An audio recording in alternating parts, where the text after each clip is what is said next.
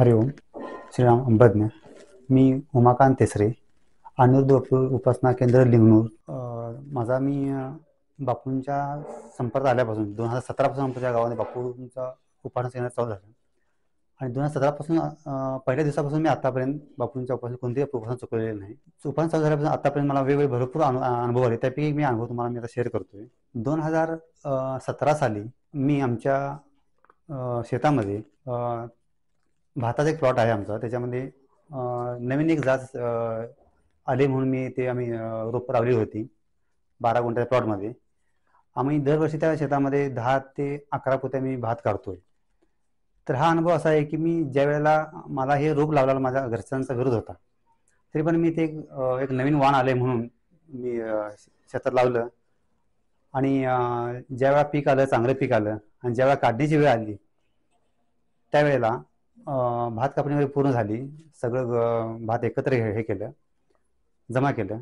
आणि ज्या वेळा मळणी वगैरे झाली त्यावेळेला मळणीला करणाऱ्या ज्या बायका आल्या होत्या त्या सगळ्या म्हणाल्या की मिसेसला म्हणाल्या माझ्या की तू हे कशाला भात लावलीस? हे आठ नऊ पोती सात आठ पोती पण भात होणार नाही आहे. तू हे कशाला लावली तर आमच्या गावामध्ये एक पद्धत असते की कोणतेही पीक घेण्यापूर्वी आम्ही गा त्या शेताची पूजा करतोय नाळ वाढवतोय आणि मग ते शेताच्या आम्ही कापणीला सुरुवात करतोय पीक घ्यायला चालू करतोय. त्याच वेळेला मी बापूंची उदी पण त्यावेळेला मी बापू संपूर्ण शेतभर मी थोडी प्रमाणात टाकलेली होती. मला माहिती होतं बापू आमचे काय कमी करणार नाही. तरी पण मी त्यांचं ऐकून घेतलं हे झालं.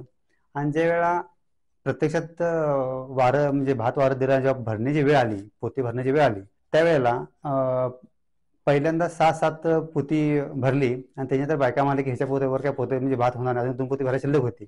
आणि काय याच्यापुढे काय जाणार नाही. माझी बायको पण नाराज झाली आणि ती तिथून बाहेर गेली. किती होते होते आणि मी तिथं थांबली नाही ती.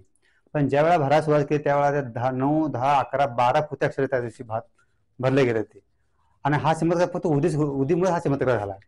असे बरेच लहान मोठे अनुभव माझ्या आयुष्यामध्ये आले. त्यापैकी हा एक अनुभव मला सुखद आणि चांगला होता. मला ते आजपर्यंत मी ज्या ज्या वेळेला कुठं बाहेर गेलो किंवा माझं कोणतं काम असलं किंवा मला कुठं अडचण वाटते त्यावेळेला मी उदी घेऊन जातो. आणि आजपर्यंत मी ज्या ज्या ठिकाणी उदी वापरली त्यापूर्ण आजपर्यंत एक सुद्धा उदी माझी वाया गेलेली नाही. हा सगळा बापूंचा चमत्कार होता. बापूंनी मला आत्तापर्यंतच्या आयुष्यामध्ये मला काही कमी केलं नाही. दोन हजार सतरा पूर्वीचं जर काय गेला तर मी मोठमोठ्या संकटांना माझ्या अंगावर येऊन गेली. मी एका इंडस्ट्रीमध्ये छो मिल्क इंडस्ट्रीमध्ये छोटंसं काम मॅनेजर म्हणून काम करतोय. ह्या ठिकाणी पण मला बापून आणून ठेवलेला आहे. कारण मी पूर्वी तिथे केमिस्ट होतो. आता मी दोन प्लॅनचा इन्चार्ज म्हणून ठिकाणी आहे. आणि ज्या ज्या माझ्या आतापर्यंत मी मनोगत व्यक्त बापूंच्या समोर आहे त्याच्यामध्ये आजपर्यंत कधीही बापूंनी मला म्हणजे अपूर्ण इच्छा ठेवलेली नाही. अशा काही मी बा- इच्छा अशा पण मी इच्छा मोठ्या केल्या नाही जेणेकरून माझ्या आवाक्या व्हायच्या असतील. पण ज्या काय मला सुख समाधान मिळेल घरच्यांना समाधान मिळेल त्या सगळ्या बापूंनी माझ्या पूर्ण केल्या त्यामुळे बापूंचं मी अंबद नाही हरिओम श्री अंबद